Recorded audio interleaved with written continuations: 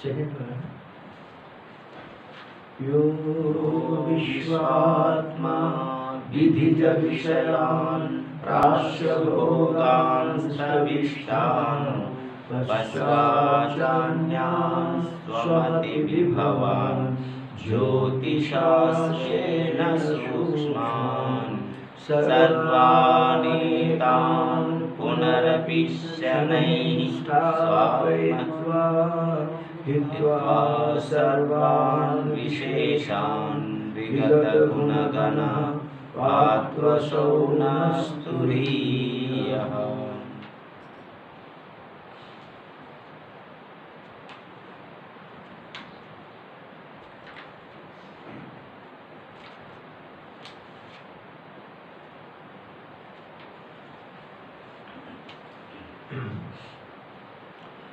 अथर्ववेदीय मांडविक उपनिषद के आगम नामक प्रथम प्रकरण पर विचार करते हुए अभी हम लोग सातवां मंत्र पर है। इसमें कि पहले प्रतिज्ञा था स्वयं आत्मा चतुष्पद ये चार पैर वाले आत्मा को समझने के लिए तीन पाठ को जो है, उसमें चलने के लिए बताया गया। पद्धति अनिना इति और चतुर्थ पाठ को पद्यति इति पाठ जिसको प्राप्त किया जाता है। इस प्रकार प्रतिज्ञा करके तीन पाठ के माध्यम से जब चल के आए, तब क्या है कि जागृत में छप्न सुषुप्त में जो बहिष्प्रज्ञ अंत अथवा आनंद भोग था वो वो तीनों को जहाँ पे दिखाई दे गया था, वही जगह उसको निषेध कर रहे हैं। न अंत प्रज्ञ न बहिष्प्रज्ञ न क्यों? क्योंकि जिस वस्तु जहाँ पे दिखाई दे रहा है, वो यदि उसी जगह पे निषेध हो जाता है, हमारे व्यावहारिक बुद्धि से हमें पता लगता है कि ये वस्तु पारमार्थिक नहीं है, प्रतीति मात्र मिथ्या है। प्रातिभाषिक सत्ता है पारमार्थिक सत्ता नहीं है, ऐसा निश्चय इसलिए ऐसा और दूसरी बात क्या है, जिस वस्तु को हम समझाना चाहते हैं, वो वस्तु यदि जिसके माध्यम से समझाना चाहते हैं, उससे बिल्कुल भिन्न है। मान लीजिए, पशु के माध्यम से हम किसी उद्भिद को नहीं समझा सकते हैं। पशु के माध्यम से हम किसी उद्भिद को नहीं, बिल्कुल भिन्न वस्तु है। ठीक इसी प्रकार से एक चीटी के माध्यम से अथवा एक पशु के माध्यम से एक देवता को नहीं समझा सकते। इस प्रकार यदि बिल्कुल भिन्न वस्तु होता तब इसको इस, इसके माध्यम से समझाया नहीं जाता। ये इसके अंदर अनुसूत रहता है। तभी जाकर के समझ में भी आता है। बोलते समझ में नहीं आने से क्या नुकसान? नहीं यही नुकसान है कि तुम शून्यवाद को प्राप्त कर पाओ इसलिए कि जिस समय निषेध की उपदेश सुन करके हमारी अंदर से इसके प्रति तादात्मता छूट जाते हैं अधिष्ठान तत्व यही इसका फल है ज्ञान का फल है। इसके लिए और दूसरा कोई प्रमाणांतर साधनांतर इसको ढूंढना नहीं चाहिए। इसी से ही ज्ञान होता है। ठीक है ना? कल हम लोग यहाँ तक पढ़ लिए थे कि इस जो 49 पेज में ना? जी सर। 49 पेज? हाँ। 49 पेज में सेकेंड पैराग्राफ से। देखिए वहाँ से शुरू होगा ना। फ़र्स्ट पैराग्राफ तक पूरा हो गया। था सेकेंड पैराग्राफ के लिए टीकाकार बुद्धा दिया यथा रज्जु यम सर्प न इति विवेकधि समुदय दशायाम एवं रज्जाम सर्प निवृत्ति फले सिद्धे। रज्जु साक्षात्कार न मृग्यते। क्लिप्तत्वा तथा इति आह। ठीक है, देखिए, एक साथ भाष्यकार जो बोले, संक्षेप उसके पीछे लॉजिक को बता देते हैं। जैसे, यथा मतलब जैसे रज्जु ये रज्जु है, न सर्प, ये साप नहीं है, इति विवेक अधि इस प्रकार जैसे जिस समय ये विवेक धी विवेक बुद्धि हमारी विवेक मतलब विचार पूर्वक हम इसको अलग कर लिए। विवेक अधि समुदाय दशाया उसका सम्मत रूप से उदय दशा। इस समय विवेक भी उत्पन्न सम उदय दशाया सम्मत रूप से अभी जागृत हो जाता है। विवेक जागृत हो जाता है उस अवस्था में। एवं रज्ज्वाम सर्प निवृत्ति फल सिद्ध। रज्जु में जो सर्प दिखाई दे रहा था, वो सर्प हमेशा के लिए निवृत्त ये फल सिद्ध हो जाता है। ठीक है ना? विवेक पूर्वक जब आप इसको समझ लेते हैं, हमेशा के लिए रज्जु से सर्प निकल जाता है। रज्जु साक्षात्कार फल इस प्रकार से रज्जु साक्षात्कार का, रज्जु ज्ञान का फलांतर और प्रमाणांतर इसका और अलग कोई फल मिलेगा? इसमें बड़ा सुंदर हिंस दिया, क्या? स्वरूप का ज्ञान होगा तो अलग फल में मुक्त हो जाऊँगा, ये नहीं समझना, क्योंकि मुक्ति अब अभी है। अपने कल्पना से बंधन को आरोप लगाया तो आपको लगेगा कि मैं मुक्त हो गया। आत्मा नित्य मुक्त है। इसीलिए फलांतर नहीं कल्पना कर रज्जु ज्ञान हुआ, आत्मज्ञान हुआ तो बस मेरा दस सिर बीस पैर, चालीस हाथ, ये सब हो जाएगा, कैसे दही आ जाएगा ऐसे नहीं समझना कोई फलांतर नहीं होगा, केवल आत्मज्ञान मात्र ही होगा, और कुछ नहीं होने वाला है। इसलिए जो भी हो रखा, वो भी खो जाएगा। जो भी आपने रखा, वो भी खो जाएगा। ठीक ठीक, विवेक भी होने से क्या हो जाएगा? जितना आरोप पर रखा था, वो चला जाएगा। है ना इसीलिए हमें बोलते हैं, सिद्धे साक्षात्कार फलांतरम, प्रमाणांतरम, साधनांतरम। इसके लिए कोई दूसरा फल होगा? अथवा शब्द प्रमाण से नहीं जाना जाएगा, दूसरे प्रमाण से जाएगा? क्योंकि शब्द, अब पहले शंका उठाया था कि शब्द हमेशा संश्लिष्ट रूप में वस्तु को बोध कराते हैं। तो हमारे उत्तर है कि शब्द हमेशा संश्लिष्ट रूप में बोध कराता है, ऐसा बात नहीं है। वो जो वस्तु जैसा है, उसको उस प्रकार से बोध कराता है। शब्द प्रमाण में ये सामर्थ्य है। इसलिए हमें बोलते हैं, कोई प्रमाणांतर भी ढूंढना नहीं चाहिए और साधनांतर मतलब ज्ञान के बिना कोई कर्म को उपासना के माध्यम से आपको सीधा ज्ञान हो जाएगा, ये भी नहीं है। न विज्ञते क्यों? तृप्त मतलब इसमें सामर्थ्य है ज्ञान में, तथा यह अभी ठीक इसी प्रकार से यहाँ भी समझ लेना चाहिए। ठीक है? अब ऊपर भाष सुना जाएगी रज्जु स्वरूप विवेक समकाल इव रज्वान सर्प निवृत्ति फलेश्वती रज्जु अधिगमस्य। रज्जु तत्व को बोध हो गया जिस व्यक्ति का बहुत बड़ी समस्या रज्जु अधिगत जे नशा रज्जु तत्व अधिगम। और उसका ष्टी एक वचन। ठीक है ना? मतलब जिसने रज्जु तत्व को जान लिया, उसको क्या हो गया? रज्जु सर्प विवेक के समकाल जिस समय आपका विवेक जागृत हो गया, जिस समय आपने समझ लिया रज्जाम सर्प उसमें क्या फ़र्क मिलता है? तो सर्प दिखाई दे रहा था तो सर्प की भ्रांति होती वो फिर निकल जाता है। इतना तो फल चाहिए आपको। मतलब जो शरीर के साथ ताकत मता थी मैं जीव ये भावना था, हम सभी निकल जाता है।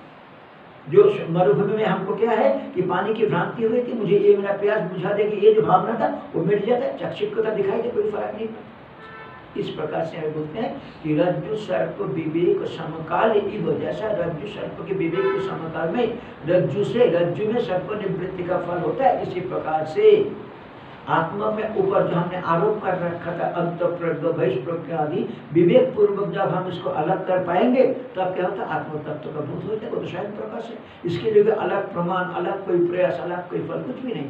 बस उसका भूत हो जाता है। अच्छा अब यहाँ हो गया हमारा पहला भी टीका में फिर आ जाइए। विषयगतम प्राकट्यम प्रमाण फलम न अध्यस्त निवृत्ति रीति आशंक। वो बोलते हैं कि कोई बात बोलते हैं, विषय का तो प्रकट हो नहीं है, अभ्यास की निवृत्ति ये नहीं है, केवल विषय प्रकट होगा। हमारे यहाँ पे क्या है, विषय नित्य प्रकटित है। विषय नित्य प्रकट है अध्यास की निवृत्ति होती है। वो बोलते हैं, नहीं नहीं, विषय प्रकट होता है अध्यास निवृत्ति नहीं इसलिए हमें बोलते हैं विषयगतम प्राकट्यम प्रमाण फलम। ठीक है ना? विषय को जो हमने जाना, अब बताओ, आत्मा को कभी विषय रूप से जान सकते हो? सामान्य रूप से हमने रज्जु को विषय करके जाना। तो ये बात हमारी नहीं है। आपका अंदर जो भ्रांति थी सर्प भ्रांति थी, वो मिल गया। रज्जु पहले से जैसा था, अभी भी वैसा ही है। रज्जु में कुछ भी विशेषता नहीं आई। ये सबसे अच्छा दृष्टांत इसलिए जैसे बचपन में हम लोग सभी जानते थे, क्या है कि आकाश नीला है, कठाकार है। ठीक है ना? और अभी भी शास्त्र पर क्या हमें वही दिखाई दे रहा है। हम तो जानते हैं, क्या आकाश न कटाहकार है, ना नीला है। ठीक है ना? अभी तो निश्चय हो गया। इसमें आकाश का क्या फ़र्क पड़ा? ठीक इसी प्रकार अधिष्ठान रूपी आत्मा में हमने अंतप्रज्ञ बहिष्पुट की कल्पना की और शास्त्र उपदेश सुन करके उस कल्पना को निकाल दिया। अभी आकाश नीला भी नहीं है कटा में बुद्धि है वैसा, दिखाई वैसे ही पड़ता है निश्चित है कि ऐसा नहीं है। ठीक इसी प्रकार केवल अभ्यास की निवृत्ति मात्र होता है। आत्मा स्वयं प्रकाश है और वो कभी विषय रूप में जानने योग्य नहीं है। दृष्टांत दृष्टांत में इतना इतना भिन्नता है।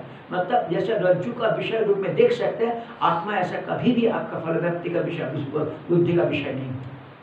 ना? ज्ञान की यहाँ पे बोलते हैं, विषयगतम प्राकट्यम प्रमाण फलम मतलब जो विषय को हम जानते हैं, वो बोध में आ जाए प्रकटता यही प्रमाण का फल है ना? अध्यास निवृत्ति। अध्यास निवृत्ति नहीं है। ऐसा कुछ शंका करते हैं तो उसके लिए बोलते हैं, देखो जे शाम पुनः टीका में भाष्य में आ जाइए। ये शाम पुनः तमो अपनय व्यतिरेक घट अधिगमे प्रमाण व्याप्रियते तेषाम छेद अवयव संबंध वियोग व्यतिरेक अन्यतर अवयवे अपि छिदि छिदिर व्याप्रियते इति उक्तम जिस प्रकार पहले समझिए एक कोई व्यक्ति गरम किसी अथवा करात से लकड़ी को काटता है। लकड़ी काटते हैं, उसको जो संयुक्त होने का कैपेसिटी है मतलब है संयोग नाशक गुण को बोलते हैं विभाग। ठीक है ना? तो संयोग करने के लिए जो गुण था उसको आपने दरांती चला करके उस गुण को आपने काट दिया। तो विभाग हो गया। अब उसके, इसके सिवा उस दरांती का और कोई व्यापार है, ये कोई नहीं कह सकता। और कोई अवयव में और कुछ, केवल इतना संयोग नाश संयोग जिसको पकड़ करके रखा था, उसको वो क्या करते हैं? काट देते हैं। फल तो कहते हैं वस्तु अपने अलग हो जाते हैं। ठीक इसी प्रकार ये जो हमने अभ्यास कर रखा था, ये अब शास्त्र बात को सुन करके वो अभ्यास छूट जाता है। वो अभ्यास छूट जाता है। इसके सिवा और कुछ भी व्यापार वहाँ पे नहीं होता। इससे सिवा कुछ व्यापार वहाँ पे नहीं होता। यदि आप ऐसा मानोगे तो आपको यह मानना पड़ेगा, दरांति मतलब संयोग विनाशक को जो गुण है, उसको अलग करने के सिवा और भी कुछ व्यापार कर रहा था, ऐसा मानना पड़ेगा। मतलब किसी की ये मान्यता नहीं है। इस अभिप्राय से बोलते हैं कि ये शाम पुनः और जिन व्यक्तियों का, देखिए, कमरे में प्रकाश नहीं है, कितना वस्तु भी विद्यमान है। हमें क्या होता है कि प्रकाश लाने से उतर वस्तु संबंधी जो अंधेरा अज्ञान था वो मिट जाता है। प्रकाश ही अंधारा को मिटाते हैं। ज्ञान ही अज्ञान को मिटाते हैं। और कुछ नहीं अन्य विषय संबंधी विषय जो जिस प्रकार मतलब क्या हुआ, वहाँ पे क्या वस्तु है, ये वृत्ति उठते ही क्या होता है, मनोवृत्ति आँख के साथ लेकर करके वहाँ पे जो वस्तु पड़ा है, वो वस्तुनिष्ठ जो चेतन, तत्संबंधित अज्ञान उसको घेरता है। वह वहाँ भी चेतन है। ये चेतन, चिदाभास के माध्यम से वृत्तियात्मक चेतन वहाँ गया, उसको घेरा। लेकिन तब आकार को प्राप्त किया उस तदाकार को प्राप्त करके जैसे ही अंदर आकर के चित्त भूमि को देते हैं, चित्त बोल देते हैं, ये ये वस्तु है। इससे क्या हो, ये क्या हो गया? तब वस्तु संबंधित अज्ञान को केवल मिटाया, और प्रमाण का और कोई काम नहीं है। इसलिए यहाँ पे बोलते हैं कि वो अज्ञान को ही मिटाते हैं। विषय का जो प्राकट प्रमाण फल अपना अध्यस्त अध्यस्त की निवृत्ति नहीं है। यहाँ पे क्या है कि जिस प्रकार तेषाम तमो अपनयन व्यतिरेक मतलब तद वस्तु संबंधी मतलब प्रकाश केवल मात्र अंधकार को मिटाते ये बात नहीं है। वो विषय का ज्ञान भी कराता है। ये कोई बात ही कहता है। विषय का ज्ञान प्रकाश नहीं कराता है। विषय का ज्ञान तो ये प्रमाण कराता है। ये आँख प्रकाश नहीं करते इसी प्रकार से यहाँ पे जो है घट वहाँ पे जो है, घट अब, घट अधिगम घट के बोध में प्रमाणम व्याप्रियते। घट के अधिगम में व्यक्त कुछ नहीं। घट की बोध में प्रमाण व्यापार नहीं करता। वहाँ पे अंधेरा को केवल मिटाना ही प्रकाश का काम है। ये शाम ते उन लोगों को क्या जाएगा तेषाम छेद, अवयव, संबंध, वियोग, जिस वस्तु दो वस्तु को आपने अलग करना चाहता है, वो दो वस्तु को जिसने पकड़ रखा जिस वस्तु को अपने दो वस्तु को अलग करना चाहता है। अब आपको क्या करना पड़ेगा? दो वस्तु को आप अलग कर, दो हाथ यहाँ पे मिला हुआ दो हाथ आप इसको अलग करना चाहते हैं, आपको क्या करना पड़ेगा? दो उसको जोड़ने वाला जो वस्तु है, उसको तोड़ देना इतना ही वहाँ काम करना है। ठीक है? अब क्या है? एक आत्मा और एक शरीर अध्यास शरीर, उसके साथ अध्यास अपने पकड़ रखा। शुद्ध चेतन, उसके ऊपर शरीर अध्यास किया।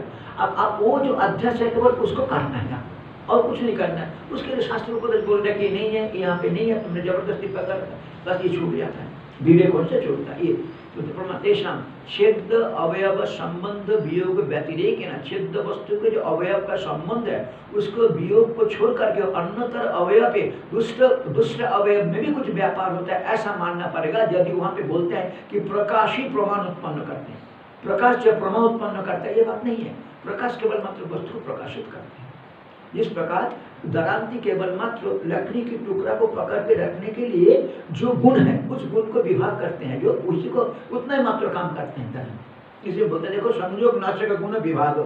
संयोग को नाश करने का जो गुण है, विभाग है, उसको मात्र दरांति अभिव्यक्त कर देते हैं। बस इतना ही मात्र काम है। ठीक इसी प्रकार से यहाँ पे ये जो प्रकाश, कोई ये प्रकाश होता है जब तक विषय कमरे में है, उस विषय को प्रकाश मात्र करते हैं, परंतु विषय में व्यवहार योग्यता विषय में व्यवहार योग्यता प्रकाश नहीं लाता। मैं कुछ दिन पहले दिन में दृष्टांत से बताया था, आपको एक कमरे में घड़ा है घर में पानी रखा है, आपको पानी पीना है। प्रकाश लग लगाने से मतलब बत्ती जला देने से आपको उसमें पानी रखना, पानी पीना, उसमें से लेना, ये काम बत्ती नहीं करता। बत्ती केवल इतना विषय को प्रकाश करता है। व्यवहार योग्यता उसमें से पहले से ही है, और वो केवल बातचीत से क्या होता है, हम उसको कर सकते हैं। व्यवहार जो कर सकते इतना ही मात्र है। ये अभिप्राय से यहाँ पे बोलते हैं कि छेद अवयव संबंध वियोग व्यतिरेक है ना अन्यतर अवयव दुष्ट किसी अवयव में भी छिदी क्रिया जो है व्याप्रिय व्यापार करता है। इति उत्तम से इस प्रकार कहना हो जाएगा। परंतु कोई बात ही नहीं, इसका मान्यता नहीं दिया। इसको मन में रखते बोलते आप टीका ये देखिए। स्व विषय अज्ञान अपनयनाय प्रवृत्ता प्रमाण क्रिया। ठीक है ना? स्व विषय अज्ञान अपनयनाय, प्रत्येक प्रमाण की अपने अपने विषय होते हैं। प्रत्येक प्रमाण की अपने अपने में वस्तु अलग है। है कि नहीं? प्रत्येक प्रमाण की प्रमेय वस्तु अलग अलग है। इसीलिए एक प्रमाण दूसरे प्रमाण के साथ फाउल नहीं करता। मतलब विरोध नहीं करता। एक प्रमाण दूसरे प्रमाण का विरोध नहीं करता। स्व विषय अज्ञान अपनयाय प्रवृत्त प्रमाण क्रिया स्व विषय भाव रूपम अतिशय अतिशय आधत्ते चेत अपनयन अर्थ क्रियात्व अविशेषात छिदिर अपि छिद्र संयोग अपनयन अतिरिक्तम अतिशय आदध्या। ये हो जाएगा तब। देखो सब विषय अज्ञान अपनयनाय प्रवृत्त प्रमाण क्रिया सब विषय भाव रूपम अतिशय मदत्य वो क्या करता है? केवल मात्र तत्संबंधित अज्ञान को मिटाता है। उसके अंदर के अतिशय के आधार नहीं करता है। कौन? प्रमाण। प्रमाण आपका आँख एक प्रमाण है। इसका तरह आप रूप देखते हैं। तो जैसा रूप है वही दिखाई देगा आपको। आँख उसमें अंदर अतिशय आधार नहीं कर पाएगा हाँ आपका आँख खराब है, चश्मा लगा स्पष्ट दिखाई देगा, इतना ही मात्र है। कोई वस्तु जैसा वैसे दिखेगा, उसमें कोई अतिशयता का आधार नहीं होता। कोई भी प्रमाण किसी अतिशय का आधार नहीं करता, तब वस्तु संबंध अज्ञान को मिटाते हैं। स्वाभाविक नियम है। इसी यहाँ पे बोलते हैं कि स्व स्व विषय स्व विषय अज्ञान अपनयनाय प्रवृत्त, अपने विषय संबंधित अज्ञान को निराकरण करने के लिए प्रवृत्त हुआ, जो प्रमाण किया, वो प्रमाण प्रमाण क्रिया, प्रवृत्त प्रमाण क्रिया स्व विषय अपने विषय, भाव कोई भावात्मक, कोई अतिशय आधत्य चीज़, यदि तुम ऐसा कहोगे, यदि तुम ऐसा करोगे उसमें कोई अतिशय के आधान करते हैं तो अपनयन अर्थ क्रियात्व अविशेषात आपने एक ही तो क्रिया किया कि मतलब क्या किया कि संयोग का विभाग करने का जो वही किया, उससे क्या हो जाएगा विशेषा छिदी छेद, छिदी क्रिया में भी छेदो संयोग अपनयन अतिरिक्त जो जिस वस्तु को अब दोनों मिलकर के पकड़ रखा, उसको छेदन के बिना एक दूसरा कोई क्रिया, अतिरिक्त क्रिया, अतिशय आधारता तो कुछ अतिशय क्रिया को आधान करेगा, ऐसा आपको मानना पड़ेगा। समझ में आ रहा है क्या बोल रही हूँ? कोई व्यक्ति लकड़ी दराब से काटते लकड़ी को अलग करने के लिए। अब मान लीजिए वो पेड़ बहुत भारी है। आपने जैसे बड़े बड़े ये होते हैं, मूल होते हैं कांड होते हैं तो दराज जो उसको अलग करके उसको पूरा काट दिया। अब दिखाई दे रहा है कि वो लगा हुआ है, परंतु लगा हुआ नहीं है। वो अलग हो गया। थोड़ा सा ज़ोर से धक्का लगेगा तो अलग के निकल जाएगा। समय लग सकता है, कोई ये लग सकता है। परंतु वो छेदन क्रिया के बिना वो थे उसमें और कोई अतिशयता का आधार नहीं करता। यदि आपको वहाँ पे अतिशय आधार मानोगे तो एक अलग व्यापार करना पड़ेगा। उस व्यापार में नहीं होगा। ठीक इसी प्रकार के आत्मस्वरूप संबंधित अज्ञान को निवृत्ति करने, प्रवृत्त हुआ शास्त्र प्रभाव शब्द। वो क्या करेगा? जिस चीज़ को हमको, हमने अपने ऊपर जो आरोप कर रखा था, जिसको हमने पकड़ रखा था शरीर को अपना मान करके केवल मात्र उसका ही निषेध करेगा। आत्मा में अधिष्ठा में कोई अतिशय आरोप नहीं कर सकते। प्रमाण का ये काम नहीं है। केवल कितना है, जो हमने अभ्यास किया था, उसको निराकरण इतना ही अभिप्राय इसलिए बोलते हैं अज्ञान प्रवृत्त प्रमाण क्रिया रूपम अतिशय चेत अपनयन अर्थ क्रिया छिदिरपि छिद्र अपनयन अतिशय आधत्ता ये आपको मानना पड़ेगा। न तो संयोग विनाश अतिरिक्त विभाग संप्रतिपत्ति रस्ती नए दर्शन को पूछ करके देखो, केवल मात्र संयोग के विभाग को ही हम क्या बोलते हैं? संयोग, नाशक, गुण विभाग। चार नंबर टिप्पणी में देखो। ठीक है ना? न संयोग मतलब संयोग, नाशक, गुण को हम विभाग बोलते हैं। तो छेदन किया क्या करते हैं? संयोग, नाशक जो गुण है, उसको काट देते हैं। विभाग हो जाता अपने आप ही होता है। यदि नैयायिक सम्मत विभागे न अस्मत् सम्मत यदि अर्थ। नैयायिक ने जिसको विभाग माना, हमारा भी सम्मति इसमें इस विषय में हमारा विरोध नहीं। है ना? ये हमारा विरोध की सुविधा संयोग नाशक गुण विभाग यदि नैयायिक सम्मत विभागे न अस्मत् सम्मत यदि अर्थ। खूब सावधानी से बैठ करके थोड़ा सोचना, यहाँ पे किस संयोग का विभाग हो रहा है? और इसमें छेदन क्रिया क्या है? संयोग क्या हो गया? शरीर के रूप आत्मा के अध्यास आप दोनों एक रूप में दिखाई दे रहा है। एक रूप में दिखाई दे रहा है।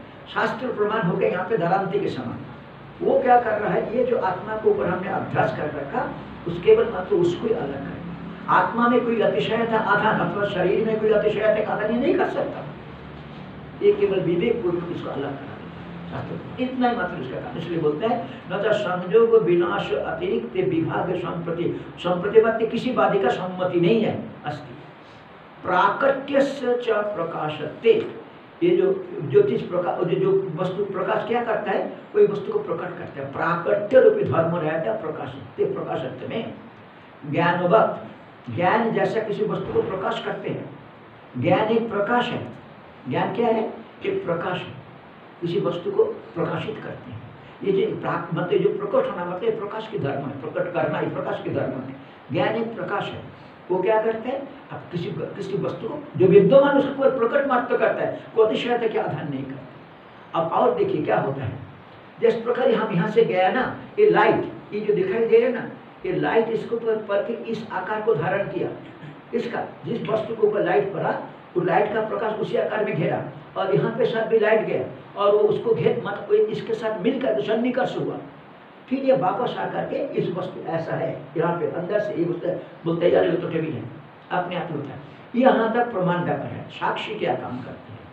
आप बोलेंगे इसके, इसका अतिरिक्त व्यापार एक होता है, परंतु वो अन्य जगह पे, वो आत्मज्ञान में नहीं हो एक को बोलते हैं वृत्ति व्यक्ति एक को बोलते हैं फल व्यक्ति एक को बोलते हैं वृत्ति व्यक्ति एक को बोलते हैं फल व्यक्ति वो क्या है? तो जैसे एक वृत्ति मन में उठी, है ना? तो हमने क्या किया? तो उसको वृत्ति यहाँ से गया, देखा, देख करके हाँ ये टेबल है। अच्छा अब क्या है? इस प्रकार मान लीजिए कि एक सूर्य का किरण बाहर है, ठीक है ना? और कमरे का अंदर अंधेरा है, अथवा सामान्य प्रकाश है।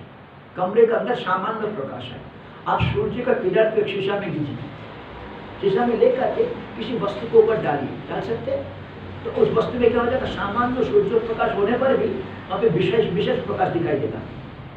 ठीक है ना? वो वस्तु का विशेष ज्ञान हो गया ठीक है? सामान्य जो वस्तु है वहाँ पे इज़ वेरी सटल थिंग जो आपको समझ नहीं सकते, यहाँ पे जो विषय, यहाँ पे चैतन्य है, वो टेबिल में चैतन्य है।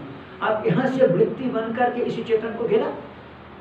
जैसे ही बाहर अंदर आया, उस चेतन संबंधित विशेष भूत हो जाता अच्छा अब ये चेतन ये जो चेतन बाहर जाकर ये चेतन अभी बाहरी वस्तु को दिखा रहा था आपको। अब ये चेतन किसको दिखाना चाहता है? जहाँ से प्रकाश आ रहा है। सूर्य की प्रकाश को दर्पण में लेकर के किसी को रिफ्लेक्ट किया तो उसको प्रकाशित कर दिया। आप सूर्य के प्रकाश दर्पण में लेकर के सूर्य को प्रकाशित करना चाहते हैं। मतलब इंसिडेंट पे रिफ्लेक्ट पे नॉर्मल के साथ एक हो गया। अब क्या होगा? आपको जो विषय संबंधित ज्ञान हो रहा था ना, अलग करके प्रकाशित विशेष पर, वो नहीं होगा। मतलब ये इसको बोलते हैं वृत्ति व्याप्ति। ये विशेष जो है, मैंने इसको जाना, आत्मा को जाना, ऐसा कभी नहीं होगा। ऐसा कभी नहीं। हाँ टेबिल को जाना, चेयर को जाना घट को जाना, पट को जाना ऐसा होगा। ये फ़ोटो को जाना, अच्छी तरह से देखा, सब किंतु आत्मा को जाना नहीं क्योंकि हमें वृत्ति व्यक्ति रहते हैं। मतलब ये साक्षी भाष्य है वो वस्तु। और साक्षी स्वयं स्वयं प्रकाशक है, इसीलिए उसको अलग करके प्रकाशित नहीं होता। ये चीज़ को समझाने के लिए इतना इतना प्रयास कर रहे हैं। इसलिए बोलते हैं कि प्राकृत प्रकाशते ज्ञान ये किसी वस्तु का प्रकट करना, ज्ञान के तरह वो भी प्रकाश रूपी धर्म है उसमें। न अर्थनिष्ठतम वो जो है, प्रकाश में क्या होता है कि आप विषय निष्ठ नहीं है, वो प्रकाश का धर्म प्रकाश करना है। परंतु विकास जब जिस विषय के साथ मिल करके दिखाई देते हैं, वो विषय आकार रूप में प्रतीति होती है। इसी प्रकार आत्मा प्रकाशक है, वो जिसके साथ मिल करके दिखाई देता है, उस रूप में प्रतीति होती है। चाहे शरीर सूक्ष्म शरीर बाहरी तो सब उसे होता है, इसलिए बोलता है ज्ञान अपना अर्थनिष्ठता और अप्रकाशत्य ज्ञान यदि इस प्रकार प्रकाश वाला नहीं होता ना, तेन अर्थेन, उस विषय के साथ मिल करके वो अर्थ आप कभी भी समझ में नहीं आता। ज्ञान यदि प्रकाशात्मक नहीं होता, तब कभी भी वो प्रकाश आपको मतलब ज्ञान कभी नहीं होता। कि वहाँ पे गया जा करके उसको घेरा घेरने के बाद इस वो वस्तु क्या है? तब संबंधित जो वृत्ति ला करके दिया, अंदर जमा चैतन्य का प्रकाशात्मक यदि नहीं होता, कभी बोध नहीं तो अब क्या होता है कि मैंने केवल इतना ही मात्र बोला, एक जगह पे वृत्ति व्यक्ति, फल व्यक्ति, विषय ज्ञान में दो होता है। वृत्ति व्यक्ति भी होती है, फिर फल व्यक्ति भी होती है। वृत्ति व्यक्ति मतलब यहाँ से वृत्ति जाकर के उस तदनिष्ठ को घेरा, तदाकार वृत्ति को प्राप्त किया, चार प्रार ये है, देख लिया देख लिया का अंदर आया तो ये टेबल है। और फलक व्यक्ति को होता है, इस टेबल को मैं जाना ये साक्षी भाषा अब सीधा भाषा साक्षी की तरफ़ देखने लगता है तो क्या तो उसी से तो प्रकाश आता है? तब इंसिडेंट का रिफ्लेक्ट एक हो जाता है, उसको विषय रूप में प्रकाशित नहीं करता। इसलिए उसको विषय रूप में प्रकाशित नहीं करता। ये यहाँ पे अभिप्रेत है, इसलिए बोलता है प्राक ये न होता ना अप्रकाशत्य तेन अर्थ न अर्थ अस्थिति भाव। उसको, उस अर्थ के साथ मिलकर वो कभी प्रकाशित नहीं होता, ये इसके अंदर भाव है। ठीक है? अब आगे बोल रहे देखिए। अज्ञान निवर्तकत्म एवं प्रमाणम इति पक्षे। प्रमाण क्या काम करते हैं? तद वस्तु संबंधित अज्ञान को मात्र मिटाते हैं। प्रमाण एक प्रकाश है, ठीक है ना? प्रकाशात्मक वस्तु है, वो तद वस्तु संबंधित अज्ञान को मिटाते हैं।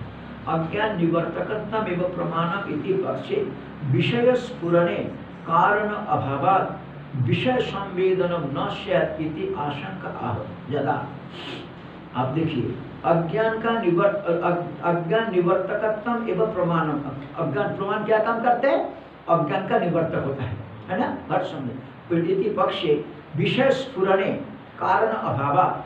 विषय के स्फुरन में कारण के अभाव हो जाएगा। विषय संवेदन न विषय का कभी बोध हो ही नहीं पाएगा। अज्ञान केवल मत, ज्ञान क्या करते हैं? प्रमाण क्या करते हैं? तब वस्तु संबंधित प्रकाश करते हैं। परंतु यदि विषय उसमें स्फुरन हो रहा है मतलब क्या विषय यदि उसमें आ रहा है, इसका मतलब क्या है कि विषय वहाँ पे है। आपको क्या होता है? वो बोलते हैं कि यदि इतना ही मात्र होगा तो विषय का ज्ञान हमें नहीं होगा। ये फल व्याप्ति को लेकर के बोल रहे हैं। फल वृत्ति व्याप्ति अज्ञान क्या मतलब? आपने क्या बोला?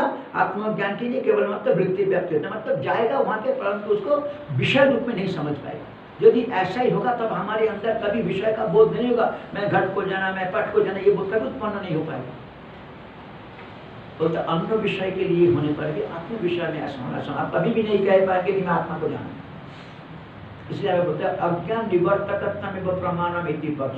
विषय कारण अभाव विषय के में कारण के अभाव होने के कारण मतलब मैंने इस विषय को जाने विषय संवेदनम न सर विषय संबंधित ज्ञान आपको नहीं हो पाएगा।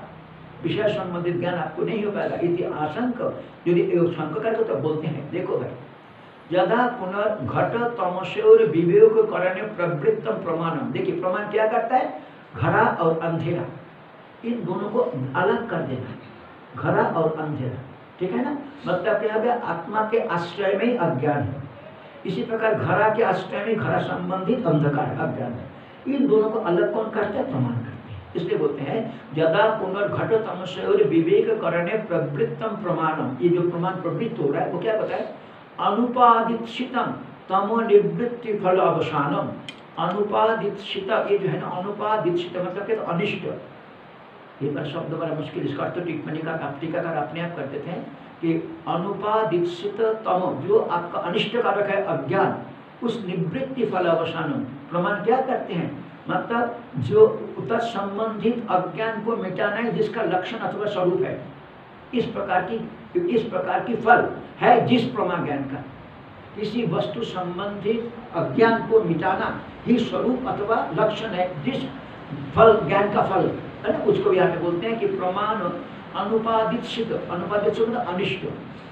तो मतलब अज्ञान। अनिष्ट जो अज्ञान है, उसका निवृत्ति फल अवसान प्रमाणम उस अज्ञान का निवृत्ति की फल देकर के अवसान हो जाता है कौन? प्रमाण। और काम नहीं करता है। यदा पुनर्घट तमशय विवेक करने प्रवृत्त घट और अज्ञान अंधेरा, घट, घड़ा और अंधेरा में विवेक करने के लिए प्रवृत्त होता प्रमाण लाइट वो क्या करते हैं? अनुपादित शीत मतलब जो हमारे अभिष्ट नहीं है, अनिष्ट, तम जो अंधेरा है, उस तम को निवृत्ति करना, उस फल में इसका अवसान प्रमाण का फल यहीं पे पर्यावसित हो जाता है। फल अवसानम, वहीं पे जाकर के पर्यावसित हो जाते हैं। ठीक है? छिदी की वजह से छेदन क्रिया, छेद अवयव संबंध विवेक करने प्रवृत्त तो छिदी क्रिया क्या करता है? छेद, जो छेद, जो छेदन होने योग्य जो वस्तु, दो वस्तु है, उसके अवयव के संबंध को, दोनों अवयव अपने को पकड़ कर रखा, उसको विवेक करना, पृथक करने प्रवृत्त कौन? छिदी क्रिया। तद अवयव दैधी, भाव, फल, अवसान क्या होता है? उसकी अवयव दो टुकड़ा हो जाता है। इतने ही तक फल में अवसान हो जाता है। तदा नान्तरियकम घट विज्ञान वो घट अब निश्चित रूप में घट का विज्ञान हो जाता है वो व्यविचार नहीं करता। न तत् प्रमाण फल ये जो है, ये प्रमाण का फल वहाँ पे जो मैं घट को जाना ये नहीं है। प्रमाण का फल केवल इतना ही मात्र है, ये घड़ा वो तो शांति चित्त हमारा यहाँ पे वृत्ति फल व्याप्ति होकर के वो साक्षी भाष्य होता है। इसीलिए होता है, घट एकम घट विज्ञान घट का ज्ञान होगा। न तक प्रमाण फल मतलब प्रमाण का फल नहीं है। प्रमाण का फल केवल घट संबंध अज्ञान को नाश किया। ये यही अपने यहाँ बोलना चाहता है। है इस लाइन को देखना। प्रमाण, ये यदा पुनर्घटतम से विवेक करने प्रवृत्तम प्रमाण प्रमाण क्या है? घट और अंधेरा की विवेक करने में प्रवृत्त हुआ। तो कहाँ पे समाप्त होगा वो? कि अनिष्ट जो अंधकार था, उसकी निवृत्ति में उसका फल हो जाता है। जैसा छेदन क्रिया दो छेद योग्य वस्तु को अलग करने में उसका फल हो जाता है। इसी प्रकार घट संबंधित अज्ञान को मिटाएगा। परंतु मैंने घट को जाना इस प्रकार के फल उत्पन्न करना, वो प्रमाण का काम नहीं, वो साक्षी का काम है वो प्रमाण का काम नहीं, साक्षी का काम मतलब सूक्ष्म विभाग को मतलब आत्मज्ञान में फल व्यक्ति नहीं होता। आत्मज्ञान में वृत्ति व्यक्ति होती है। फिर आगे उठाएँगे, जो आप जो आत्मज्ञान में जो वृत्ति आपने बनाया था मतलब निषेधात्मक वृत्ति हो, वो वृत्ति भी तो अज्ञानात्मक वृत्ति है, उसको कौन नाश करेगा? बोलते हैं, वृत्ति वो वृत्ति क्या होता है? क्योंकि आत्मा स्वयं प्रकाश होने के कारण वो आत्मा संबंधित वृत्ति होते ही वो वृत्ति आत्मा को प्रकाश करके अपने आप नाश हो जाती है।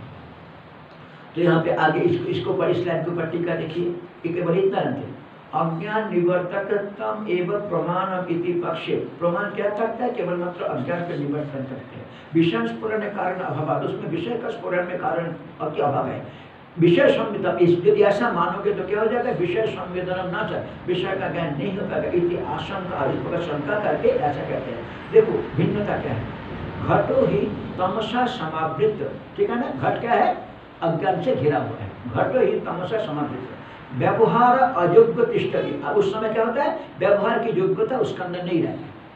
है ना? घड़ा से पानी निकालना, उसको ले जाना, क्योंकि अंतरा में नहीं दिखाई पड़ता। है तस्य तमस निष्क्रम्य। व्यवहार योग्यतम आपादन प्रत्यक्ष आदि प्रमाणम प्रवर्तते। उसकी, उस तमस्या को, अज्ञान को, अंधेरा को हटा करके उसके अंदर व्यवहारिक योग्यता को लाना एक प्रत्यक्ष प्रमाण में प्रवृत्ति इसलिए प्रत्यक्ष प्रमाण प्रवृत्त होते हैं। तच्च अनुपादित अनिष्ट अप्रमेयस्य तमस निवृत्ति लक्षणे फले जदा पर्यावश्यति। यहाँ तक देख लीजिए। तच्चा ये जो प्रमाण की प्रवृत्ति अनुपादित शीतस्य ये देखिए इसका अर्थ कर रहे अनिष्टस्य। ठीक है ना? और अप्रमेयस्य, वो आपका प्रमेय वस्तु नहीं है। प्रमेय वस्तु घट है। अप्रमेयस्य, तमसो निवृत्ति लक्षण वो क्या करता है? केवल मात्र अज्ञान की निवृत्ति की तरह लक्षित होता है। इस फल में पर अज्ञान निवृत्ति अथवा अज्ञान निवृत्ति द्वारा लक्षित अथवा उसका स्वरूप इस रूप में पर्यवसित होते हैं? कौन? प्रमाण की फल। उस प्रमाण जिसमें प्रवृत्ति होता है मतलब प्रकाश, क्या करता है कि उन्हें अंधेरा तत् संबंधित अंधेरा को मिटाते हैं। इसलिए देखिए, तच्च अनुपादित शीतस्य जो अनुपादित से मतलब अनिष्ट उसका अपने आप लिख दिया अप्रमेय जो आपका विषय रूप में ज्ञान नहीं होता, उस प्रकार अज्ञान का निवृत्ति लक्षण फले। यदा पर उस अज्ञान की निवृत्ति रूप से फल में पर्यावसित होता है, कौन? प्रमाण। प्रमाण का फल क्या है? अज्ञान की निवृत्ति। प्रकाश का फल क्या है? अंधेरा की निवृत्ति। यहाँ पे छह नंबर पाँच नंबर टिप्पणी, छह नंबर टिप्पणी। दोनों उत्पन्न है ना? ज्ञानवत न अर्थनिष्ठ। तब देखिए, ज्ञानवत। ज्ञानम ही प्रकाश रूपम। ठीक है ना? ज्ञान क्या है? प्रकाश रूप है। कहाँ रहता है वो? अंतकरण है। प्रकाश है कोई वस्तु को प्राकट प्रकाश करने के धर्म प्राकृतिकता वो भी प्रकाश है वो भी है। नहीं है वो। कोई वस्तु प्रकाशित हुआ, वो विषय निष्ठ नहीं है। आपका अंतकरण प्रकाशित होता है। अंतकरण उसको प्रकाशित करते हैं। इसलिए हमें बोलते हैं कि ज्ञान में प्रकाश रूपम अंतकरण निष्ठ ज्ञान प्रकाश रूप है, वो अंतकरण पैदा करके रहे इसीलिए प्राकृत कोई वस्तु की प्राकृतिकता जो भी प्रकाशन को भी प्रकाश रूप होने के कारण तन निष्ठ मतलब अंतकरण निष्ठ शांति भाव। ये अंदर भी आपको समझना है। हो गया पाँच नंबर। छह नंबर टिप्पणी हो गया तच्च अनुपादित अनिष्ट अप्रवेश यहाँ पे देखिए निवृत्ते आवश्यकत्व सूचनाय तम विशेषणे प्रत्यय अर्थ नय अन्वितम आह यहाँ पे बोलता है क्या हो गया? आपका यहाँ पे निवृत्ति आवश्यकता मतलब क्या है? अज्ञान की निवृत्ति आवश्यक है। इसको सूचित करने के लिए आपको एक पद दिया उपादित दीक्षा मतलब क्या होता है? देने की इच्छा। और आदित्य मतलब? लेने की इच्छा। और उपादित्य मतलब विशेष करके लेने की इच्छा। ठीक है ना? और अनुपादित सा मतलब ग्रहण करने के लिए की इच्छा ही नहीं है। इसमें मतलब निष्ठ रूप है वो। धर्म निष्ठ मतलब जिसको ग्रहण करने की इच्छा ही नहीं होती। मतलब अज्ञान। इसलिए हमें बोलते हैं कि अनिष्ट से हमारा अभिप्राय नहीं अनिष्ट से तो इसलिए बोलते हैं कि निवृत्ति आवश्यकत्व सूचनाएँ मतलब वो निवृत्ति आवश्यक है। इसको सूचित करने के लिए तमो विशेषण है। तमो का विशेषण है क्या? प्रत्यय तमो अंधेरा, उसका। तमो रूपी विशेषण दिए होंगे अज्ञान। तो क्यों? प्रत्यय अर्थ हो आपका बोध जो है, निषेधात्मक हो जाए, उससे होकर के हो जाए। अनिष्ट बोले अनिष्ट अज्ञान किसी का इष्ट नहीं है। अज्ञान किसी का इष्ट नहीं है, सभी ज्ञान प्राप्त करना चाहते हैं। ज्ञान इष्ट हैं आवश्यक सूचना। मतलब वो जो अज्ञान की तो आवश्यक है। क्या है? इसका मतलब क्या है? कि अज्ञान कोई पारमार्थिक वस्तु भी नहीं है। यदि वो पारमार्थिक वस्तु होता, तब कभी निवृत्ति भी नहीं होता। अज्ञान की निवृत्ति आवश्यक है और इसको समझाने के लिए यहाँ पे अनुपादित सिद्ध शब्द प्रयोग किया।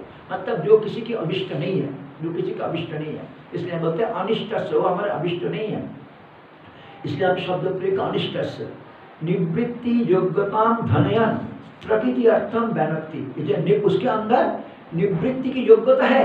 अज्ञान के अंदर निवृत्ति की योग्यता मतलब वो प्रकाश के तरह, अंधेरा अंधेरा के अंदर मिटने की योग्यता है क्योंकि प्रकाश के तरह मिट जाता है वो। इसलिए होता है, निवृत्ति, योग्यता, ध्वनि, उसको ध्वनित करते प्रकृति अर्थम जो मुख्य जो अर्थ है उसके कहते अप्रमेय जो प्रमाण के तरह नहीं जाना जाता।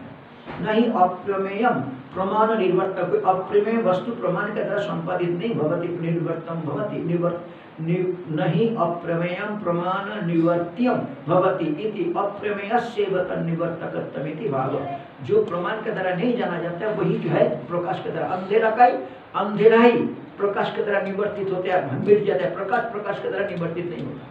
इस अभिप्राय से बोला जा रहा है नहीं प्रमेयम प्रमाण निवर्त्यम भवती अप्रमेय से तन निवर्तक जो अप्रमेय होता है, वो उसी की तरह। यदि प्रमेय वस्तु ज्ञान होता ना उसका तो वो निवर्तन भी नहीं होता। प्रातिभाषिक वस्तु है, तभी जाके वो मिट जाते हैं। इति भाव इसके अंदर भाव छुपा हुआ अब क्या होगा?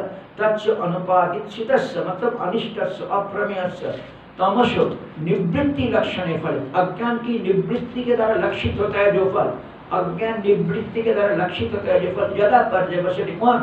ये प्रमाण की फल, उसमें पर्यवसित होता है। तदा घट संवेदनम आर्थिकम। घट को मैंने जाना, ये आर्थिक फल है। घट को आपने देख लिया, प्रकाश क्या किया? आपका अंधेरा को मिटा दिया। मिटाने के बाद आपने घर को देख लिया। हमें लगता है कि हमें घट ज्ञान हुआ। प्रकाश घट ज्ञान नहीं किया, प्रकाश तो केवल मतलब घट को प्रकाशित किया। फिर आपका मनोवृत्ति, जो अंधकरण वृत्ति वो तब को साक्षी भाग चौका के मैंने घट को जाना, ऐसा उठता है। प्रकाश घट को जानने में, प्रकाश घट को दिखाने में मदद करता है। उसको जानने में तो हमारे अंतकरण की वृत्ति काम करती है इसलिए आप बोलते हैं, तथा घट संवेदन आर्थिक अर्थ से प्रमाण फल वो प्रमाण का फल होता है, न वो आर्थिक न भगवती मतलब क्या होता है, वो ये प्रमाण का फल नहीं है, वो केवल मात्र आर्थिक है मतलब लगता है ऐसा, परंतु प्रमाण का फल तो केवल मात्र घट संबंधी जो अंधेरा था, उसको मिटा उसको मिटा। इसको समझा रहे फिर यथा सीधी क्रिया छेदो तरोर जैसा कोई अपने बड़ा पेड़ को काट रहे हैं छेदी क्रिया छेद तरोर अवयव। जो तरु का जो अवयव है, दो भाग है किसी का अवयव, मिथो संयोग निरसन आपस में जो उसका संयोग है, उसको मिटाने में प्रवृत्ता सती उसको उसके लिए प्रवृत्ति होती भी तयोर एवं छेद अवयव दैधी भावे फल उसका फल क्या होगा? उन दोनों जिस अवयव मिला हुआ था, उसको अलग करने उसका फल है। इसलिए छेद अवयव दैधी भावे फले पर्यवश्यति उसमें परिणत हो जाता है। न तो अन्नतर अवयव अपनी छिदी व्यापार दूसरा किसी अवयव में फिर छेदन किया, व्यापार नहीं होता, व्यापार नहीं करता। केवल मात्र जिन दोनों पेड़ के जिस शाखा को आप काटना चाहते हैं, उन दोनों के बीच में जो संयोग था उसको नाश करने में छिदी किया जाता है। ठीक इसी प्रकार अज्ञान, जो क्या होता है दोनों अवयव को पकड़ रखा था, केवल उसको निराकरण करने के लिए शास्त्रोपमान शास्त्र को मतलब प्रयोग होता है। न तो अन्यतर अवयव इसके बिना दूसरा किसी अवयव में, किसी अधिष्ठान में कोई अतिशय का आदान करना, न आत्मा में, न शरीर में, अतिशय का आदान नहीं कर सकता है। न तो अन्यतर अवयव अभी छिदी व्याप्रियते, छेदन किया का व्यापार नहीं होता। यहाँ पे कौमा करते हैं। दृष्टांत तो भाग हो गया। तथा यह काम निवृत्त प्रमाण निर्वृणोती, है ना? अज्ञान को नाश में ही प्रमाण की प्रवृत्ति होता है। उसी में उदय करके वो समाप्त हो जाए निर्वृणोती, उसी में परिणत हो जाता है। तथा यहाँ पे इसी प्रकार की यहाँ भी मतलब अज्ञान को नाश में ही प्रमाण प्रमाण जो है पर्यवसित हो जाता है। यहाँ पे देखिए, एक दो नंबर टिप्पणी दिखाई पड़ रहे हैं।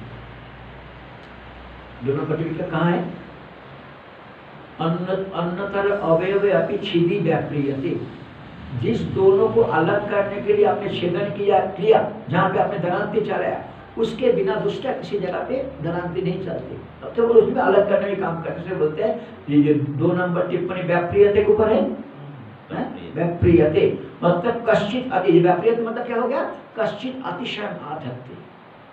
ठीक है ना? आपकी इसमें कोई अतिशय का आधार नहीं करेगा वो। बस केवल मात्र इतना है कि अलग कर देगा।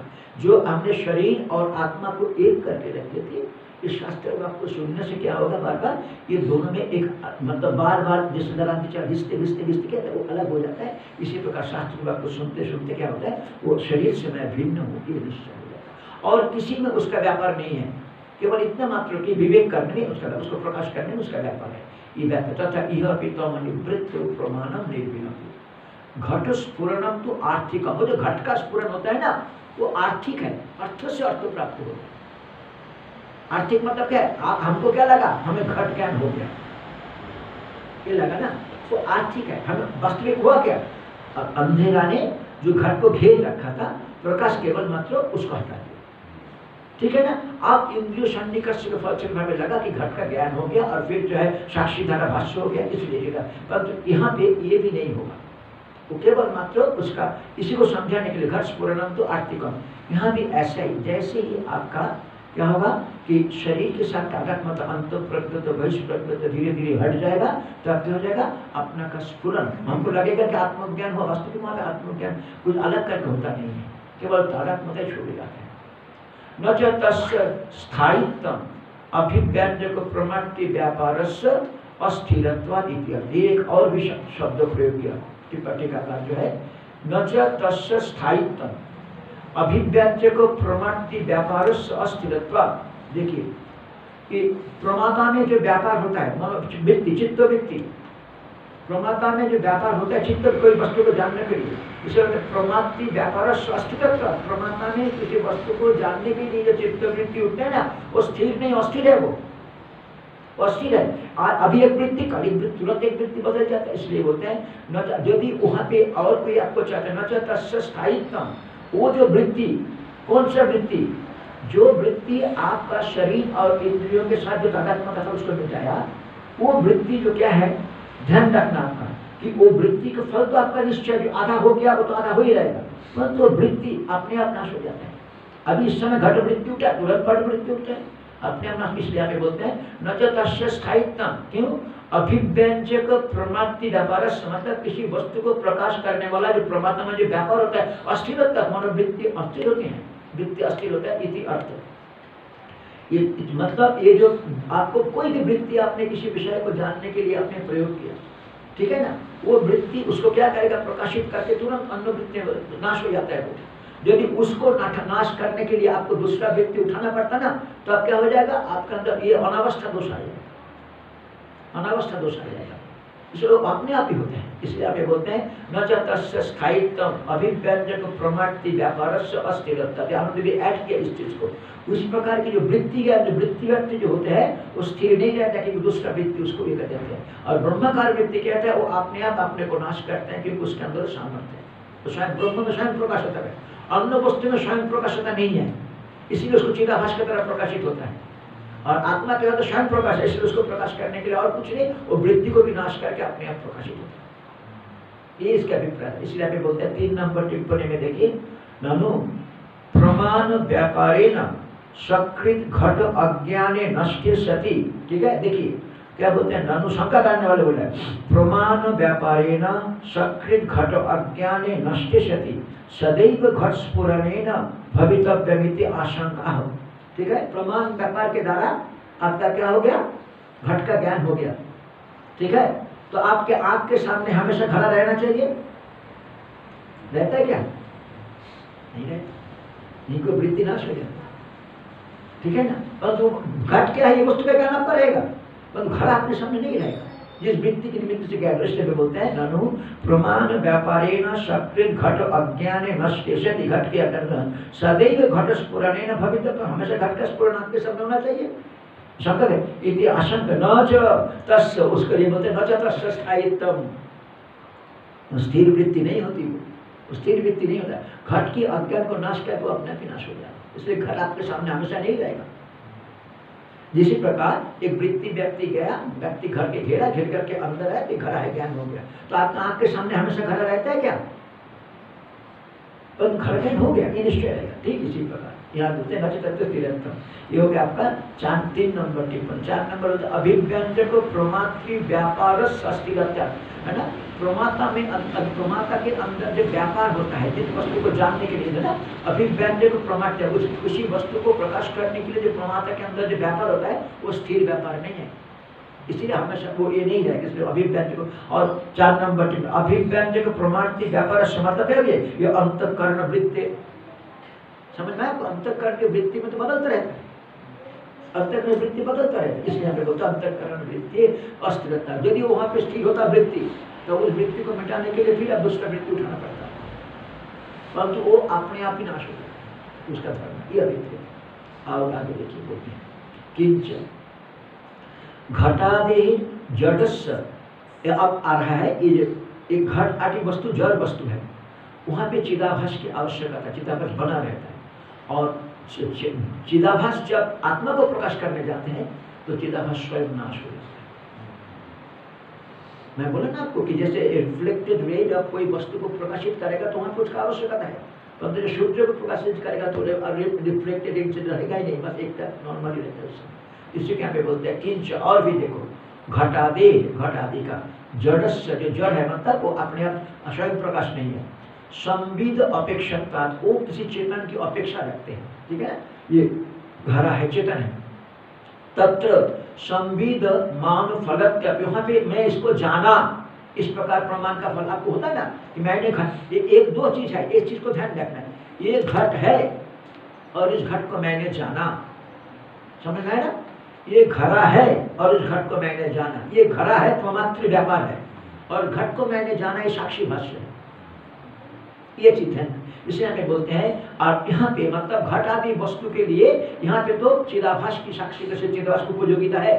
वो जा करके उसको देख करके वापस आता है। किंच तत्र मानफलत्यपि न आत्मनि अजड़े एकताने मानस मानस आरोपित धर्म निवर्तकत्व अंतरेण संविद जनकत्व व्यापार संभवती आह! ये आप क्या ला रहा है? इसमें फल व्यक्ति नहीं है, इसको स्पष्ट वृत्ति व्यक्ति है, परंतु फल व्यक्ति नहीं है, इसको समझाने के लिए स्पष्ट करके बोल रहे हैं, अन्य वस्तु के ज्ञान के लिए आपको चिदाभास की चैतन्य और उसका रिफ्लेक्शन की आवश्यकता है क्योंकि वो जड़ है। बोलते हैं ना, किंच घटादेर जलस्य संविद पक्षत्व असंविद अपेक्ष संविद अपेक्षता घटादि जो जड़ है, वो चेतन की अपेक्षा रखता है। तत्र संविद मान फल तक वहाँ पे मेरा ज्ञान हुआ। इस प्रकार से प्रमाण का फल होने पर भी न आत्मनि आत्मा जड़ है क्या? घटा और घड़ा और आत्मा में क्या भिन्नता है? घड़ा ये नहीं कह सकता कि मैं घड़ा हूँ। परंतु आत्मा, मैं जानता हूँ कि मैं मैं कह सकता मैं हूँ। इस प्रकार से तो बोलते हैं, आत्मनि अजड़े। और आत्मा कैसा है? संविद एक ताने मतलब ज्ञान स्वरूप है। चेतनता की एक रसता है उसमें। जड़त्व तो नहीं है, चेतनता की संविध एक ताने मानस आरोपित धर्म निवर्तक मतलब वो प्रमाण क्या करता है? उसके ऊपर जो हमने धर्म आरोप करके रखा था, केवल उतना ही मात्र मिटा देता है। मानस आरोपित धर्म निवर्तकत्म अंतरे न उसके बिना संबित जनक व्यापार न संभवती। उस संबित जनक व्यापार वहाँ पे अलग कभी ये होना संभव नहीं है। न यहाँ से लाएगा, मानव फलत्य यहाँ से नकार आएगा किंच घटादेर जलस्य संबित अपेक्षत्व तत्व समृद्ध मानव फलत्य अपि। ठीक है कमा काट देना वहाँ कमा करने के बाद न आत्मनि, न का अलग कर न संभवति यह न क्रियापद के साथ अन्य आत्मनि अजड़े संविध एक तन तीनों शब्द में एक वचन। आत्मा का स्वरूप ऐसा होने का आत्मनि अजड़ संविद एक पाँच नंबर टिप्पणी संविद एकता नहीं थी, जड़ अजड़ रूप आत्मवाद और निराशा। कोई आत्मा को जड़ भी मानते हैं, चेतन भी मानते उसको निराकरण करने के लिए आत्मा में जड़त्व कभी नहीं है वो संविद एकता प्रज्ञान खान एवं ठीक है ना? क्योंकि आत्मा को जड़, चेतन दोनों मानना है, वो शशि वाले क्या बोलते हैं वो? आत्म, आत्ममन संजक वहाँ पे ज्ञान उत्पत्ति होती है। चेतनता की उत्पत्ति होता आत्मा नित्य ज्ञान स्वरूप ऐसे नहीं मानते। इसलिए इस बात को मत खंडन करने के लिए संविद एकता ने मानस आरोपित धर्म निवर्तक जो प्रमाण जो है जिस धर्म का हमने आरोप किया था केवल मात्र उसका ही निवर्तक होता है प्रमाण। अंतरे इसके बिना संबित जनगत व्यापार मतलब आत्म संबंधित कोई ज्ञान उत्पन्न जिस प्रकार व्यापार हो, न संभवती। वहाँ तो होना संभव नहीं फल व्यक्ति उसमें नहीं होती।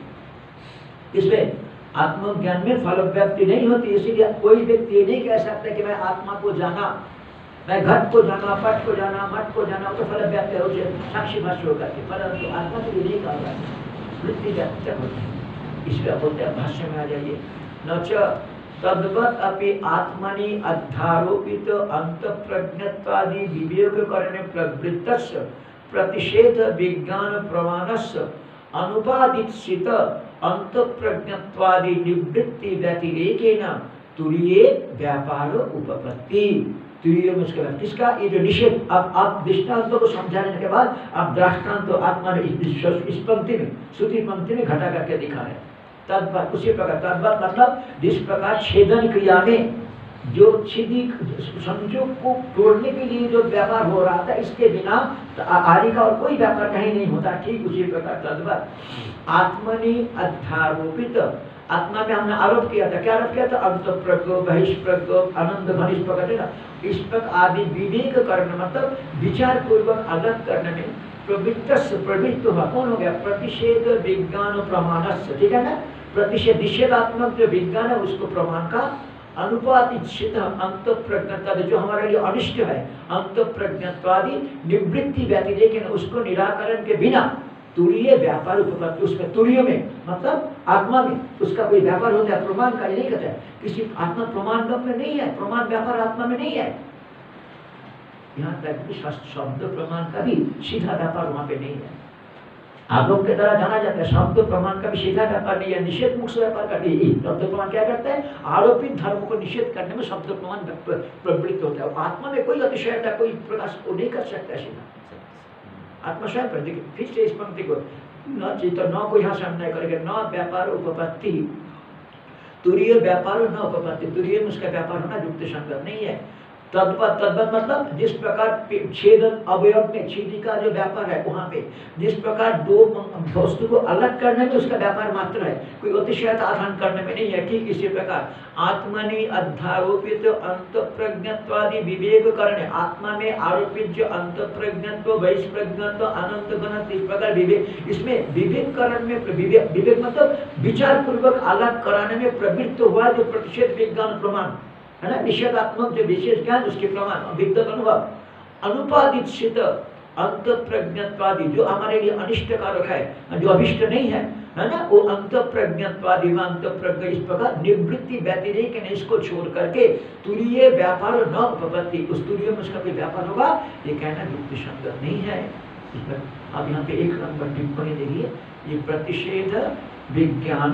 प्रतिषेध विषयक विज्ञान जनक प्रमाण ठीक है ना? ये विज्ञान क्या करता है? ये नहीं है, ये निषेधात्मक। सब निषेध है। ठीक है ना? इसमें प्रतिषेध विषयक, प्रतिषेध को विषय करने वाला जो विज्ञान, उस जो प्रमाण है, विज्ञान जनक विज्ञान उत्पन्न का जो प्रमाण है, उसका। अथवा जब प्रतिषेध रूप से विज्ञान जनक प्रमाण जो निषेध रूप विज्ञान उत्पन्न करता है, ये नहीं है, ये विज्ञान को उत्पन्न करता है। दोनों भिन्नता क्या हुई? प्रतिषेध को विषय करता है। और एक है प्रतिषेध रूप विषय है। प्रमाण क्या है? इसको ये प्रतिनिषेध करता है मतलब प्रतिषेध विषयक, प्रतिषेध को विषय करने वाला विज्ञान जनक विज्ञान उत्पन्न करने वाला प्रमाण का, उसका व्यापार क्या होता है? केवल मतलब निषेध में ही प्रवृत्त होता है। आत्मा में अतिशय तो आधान नहीं करता। जब बात, प्रतिषेध रूपस्य, ठीक है ना? जो आपका विज्ञान जनक प्रतिषेधात्मक विज्ञान मतलब ये नहीं है, इस प्रकार बोध उत्पन्न ये आत्मा में नहीं है। इस प्रकार बोध उत्पन्न करता है। प्रतिषेध रूप से, प्रतिषेध स्वरूप है जिसका। प्रतिषेध स्वरूप विज्ञान जनक प्रमाण से विज्ञान उत्पन्न करने वाला प्रमाण का। उसका क्या होता है कि केवल मात्र निषेध में ही प्रवृत्त होता है। आत्मा में कोई अतिशक्त तुरियों में कोई अतिशक्त का आधान करना, वो वहाँ पे वो प्रवृत्त नहीं हो सकते। अंत प्रज्ञत्वादि अब होता क्या है? देखिए अंत प्रज्ञत्वादि निवृत्ति समकालम एवं प्रमातृत्वादि भेद प्रमातृत्वादि भेद निवृत्ति अब क्या हो गया जिस समय आपके अंदर अंत प्रज्ञ तो बहिष्प्रज्ञ तो ईश्वर मेरे अंदर नहीं है। तो क्या होगा? ये जो हमारे अंदर प्रमातृत्व मैं कहता हूँ, मैं जानता हूँ, वो वो भाव चला जाए तुम किसको जानते थे? बाहरी विषय को जानते थे। तुम किसको जानते थे? अपने मनो दुश्मन संस्कार को जानते थे। है ना? ये जानने वाला प्रमाण प्रमातृत्व सारा व्यवहार अज्ञान को आश्रय करके है आरोप करके है। भाष्य भगवान भाष्य कर स्पष्ट दिखाया अब अंतकरण के साथ मैं आरोप करके मैं ये जानता हूँ। परंतु जैसे निषेध विज्ञान के द्वारा इसके साथ मेरा कोई संबंध नहीं है, ऐसा निश्चय हो जाएगा तो अपने अंदर जो प्रमातृत्व के हमने आरोप किया था, मैं ये जानता हूँ, मैं ये जानता हूँ, मैं ये जानता हूँ, सब छूट जाते हैं। इसलिए हमें बोलते हैं अंत प्रज्ञत्वादि निवृत्ति समकाल में अंत प्रज्ञत्वादि जब ये मिल जाते हैं, किसके? उपदेश से। है ना? इस उपदेश से उसी समकाल में प्रमातृत्वादि भेद निवृत्ति प्रमाण, प्रमाता, प्रमेय, ये इतना भेद दिखाई पड़ता है ना? मैं प्रमाता हूँ। इस प्रमाण के द्वारा प्रमेय वस्तु को जान करके मेरा प्रमेय तो सारा भेद मिट जाते हैं, मिट जाते हैं। इसी को बोलते हैं यहाँ पे, इसको आगे बोलेंगे। तथा च बक्षति ज्ञाते द्वैतम न विद्यते इति। है ना? ज्ञान हो जाने पर फिर कोई भेद नहीं रहता। बाहरी भेद केवल यही नहीं, ये अंदर में जो भेद है मैं प्रमाता हूँ, इस प्रमाण के द्वारा मैं प्रमेय वस्तु को जाना, ये सारा भेद मिट जाता है। होता ज्ञाते द्वैतम न विद्यते भाष्य में देखिए, फिर दिखाने आ जाऊँगा ज्ञान से द्वैत निवृत्ति क्षण व्यतिरेक न क्षणांतर अनवस्थाना। ये जो ज्ञान है ना, जो ज्ञान आपका द्वैत बोध को मिटाते हैं। वो जो है, वो ज्ञान, द्वैत निवृत्ति क्षण, वो विवृत्तियात्मक ज्ञान। मतलब ये मुझमें नहीं है। वो द्वैत क्षण व्यतिरेक है ना वो जिस क्षण में उसको मिटाते हैं उसके बिना क्षणांतर अनवस्थान दूसरे क्षण में नहीं रहता। यदि वो रहता ना, अवस्थान अनावस्था प्रसन्न तो उस ज्ञान को हटाने के लिए आपको एक दूसरा ज्ञान वृत्ति उत्पन्न करना पड़ता है। फिर उसको निकल के दूसरा वृत्ति उत्पन्न करता है। अरे, अनावस्था दोष होता है मूल मूल उच्छेद करें जो मूल सिद्धांत तो ज्ञान कभी हो ही नहीं पाएगा। जो आपने बोला अभी अनावस्था दोष में क्या होता है, अनावस्था दोष मूल का ही उच्छेद कर देते हैं। मतलब पहला ज्ञान ही हो पाएगा वो भी विद्यात्मक रहेगा, विषयात्मक रहेगा जो स्वरूप का ज्ञान हो ही नहीं पाएगा। परंतु होता है, इसीलिए यहाँ पे ऐसा नहीं है। इसलिए बताया ज्ञान से द्वैत निवृत्ति क्षण व्यतिरेक है ना क्षणांतर कौन सा ज्ञान बोल रहे हैं? जिस वृत्तियात्मक विचार से आपने अपने को मतलब उपाधि से अलग किया, वो वो ज्ञान आपका वृत्तियात्मक ज्ञान आपका क्षणांतर विषय अधिक नहीं रहेगा। एक झलक होगा, ये बड़ी इंपॉर्टेंट थी आत्मज्ञान होता कैसे है? ये एक क्षण में कुछ ऐसा फ्लश होता है। फिर होने के बाद क्या होता है कि आपके अंदर स्पष्ट हो गया। आपका वो ज्ञान वो वृत्ति आपका नहीं रहेगा। मतलब तो आपने जान लिया ये पेन है, आपका जेब में है आवश्यक के समय आप उसको निकाल कर लिख सकते हैं। इसी किसी प्रकार इसी प्रकार इसीलिए बोलते हैं अवस्थान अनवस्था प्रसंगा और यदि आपको ये यदि रहता ना, तब आप अनवस्था दोष होता फल तो क्या था? द्वैत अनिवृत्ति। द्वैत तो वृत्ति नहीं। क्यों? आप एक के बाद एक एक के बाद एक, आप कोई एक एक ए को मारने के लिए बी बी को मारने के लिए सी सी को मारने के लिए डी हमेशा द्वैत बना ही रहता। है द्वैत निवृत्ति नहीं होती। यहाँ पे देखिए, एक नंबर टिप्पणी दिखाई दे रहा है। द्वैत अनिवृत्ति रीति, निवर्तक ज्ञान परंपरा अभ्युपगम क्यों? आप उसको मिटाने के लिए ज्ञान ने आपने मान लिया। पूर्व ए ज्ञान को मिटाने के लिए एक निवर्तक ज्ञान भी और बी ज्ञान को मिटाने के लिए निवर्तक ज्ञान सी। ये मानना पड़ेगा आपको फल क्या हो जाएगा? द्वैत अनिवृत्ति कभी द्वैत प्रपंच ठीक है तो आज कहाँ से हुआ? सेकेंड थर्ड पहले से फ़र्स्ट फ़र्स्ट होगा अजम अपि योगं प्रापदैश्वर्ययोगात् अगतिं च गतिमत्तां प्रापदेकं हि अनेकं विविधविषयधर्मग्राहि मुग्धे क्षणानां प्रणतभयविहन्त्रि ब्रह्म यत्तन्नतोऽस्मि